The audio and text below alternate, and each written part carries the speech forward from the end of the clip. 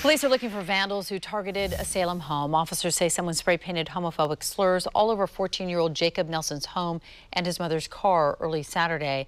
They also threw a rock through her window. Jacob and his family cleaned up most of the graffiti and transformed the rest of it into a work of art. His mother says the incident left her shaken, but she says she won't be intimidated. It is hard on my son, but it's the right thing to do. We're standing up for not just us, but for other victims. Jacob and his mom believe former classmates did it, but police say they have no leads on a suspect or surveillance video. If you have any information about this, you're asked to call Salem Police.